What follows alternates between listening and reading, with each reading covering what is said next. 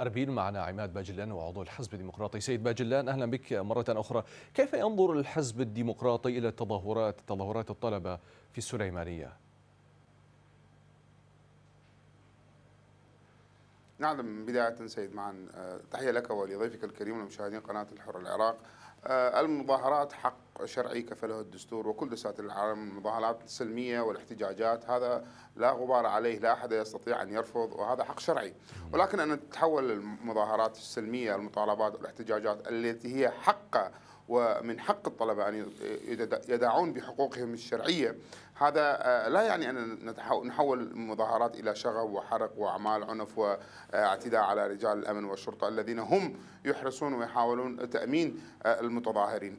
بدون أدنى شك نحن في حزب الديمقراطي الكردستاني نقف مع أبنائنا المتظاهرين وقفة حقيقية. ولذلك حكومة إقليم كردستان اجتمعت يوم أمس وقررت ولبت مطالب المتظاهرين طيب ماذا عن العنف المفرط؟ سيد باجلان وزارة التعليم العالي للمخصصات ماذا عن العنف المفرط الذي استخدم ضد المتظاهرين؟ من الجانبين يعني يعني يعني منظمة منظمة العفو الدولية امنستي لم تتحدث عن العنف الذي تتحدث عنه الآن أنه كانت هنالك اعتداءات على قوات الأمن بل وثقت مقاطع مصورة وفيديوهات عمليات اعتداء على المواطنين وعلى الطلبة بالضرب والتكسير. يعني شفنا هذه الفيديوهات على مواقع التواصل الاجتماعي سيد. أستاذ أستاذ ال ال ال ال العنف والضرب المفرط ممنوع منعا باتا من الجانبين. كذلك أنا لست مع رجال الأمن الذين يتعدون على المتظاهرين على الإطلاق رجال الأمن ومكافحة الشغب هم واجبهم حماية المتظاهرين وحماية الممتلكات العامة التابعة للمؤسسات الدولة.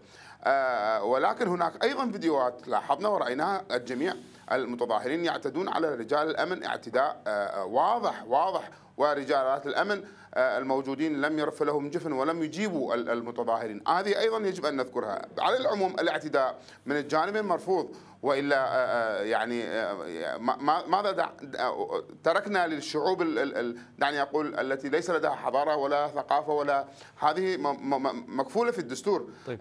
مشكلة مظاهرات سليمانية أستاذ معن هاي نقطة مهمة يجب أن يدركها كل العراقيين والعالم.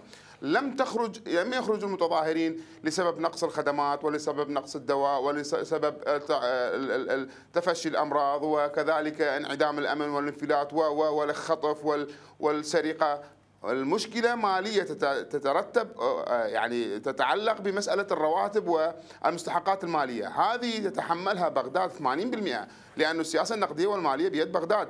وإلا ما فرق ابن سليمانية عن ابن الأنبار أو ابن الناصرية أو الرمادي الذي يصرف له هذه المعونات شهريا. لماذا هنا لا يصرف؟ الحكومة الاتحادية هل هل يصرف هل, هل تصرف هذه الشعب العراقي الشعب لحظة لحظة لحظة. وباقي المحافظات لحظة سيد باجلان أنت يعني أشرت إلى نقطة مهمة. هل تصرف مستحقات طلبة المحافظات الجنوبية. إذا أردنا أن نتحدث هل هنالك مساواة بين طلبة البصرة ذي قار الناصر الناصرية العمارة مثلا بغداد؟ على سبيل المثال مع طلبة إقليم كردستان إذا أردنا أن نتحدث عن المستحقات.